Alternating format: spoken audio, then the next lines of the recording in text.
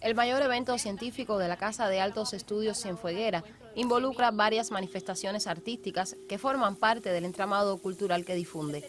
Es así que junto a las conferencias magistrales, talleres y cursos se comparte también historia y legado. Creo que una vez más se postula el principio y la premisa del diálogo de saber. Creo que eso ha sido eh, una fortaleza. Nos insertamos o se insertó esta obra de teatro en la convención, dado que eh, todo el proyecto Ruta Turística Bartolomé de las Casas es una, una un, eh, logrado a través de una maestría en estudios históricos y antropología sociocultural que generó el proyecto y que a partir de ahí ha seguido eh, generando muchísimos encuentros. Una actividad colateral que le dio realmente un tono diferente, pero no concluimos ahí.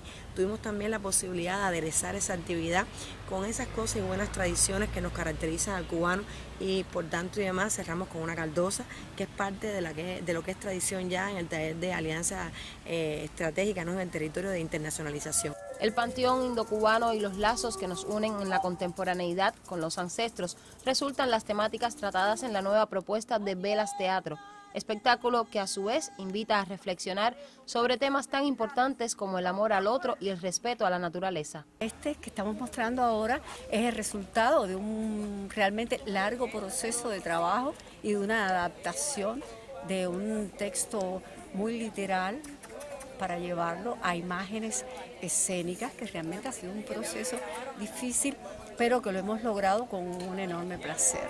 Actividades colaterales que promueven el respeto y la unidad y que a la vez abren las puertas al pasado, presente y futuro de nuestro país.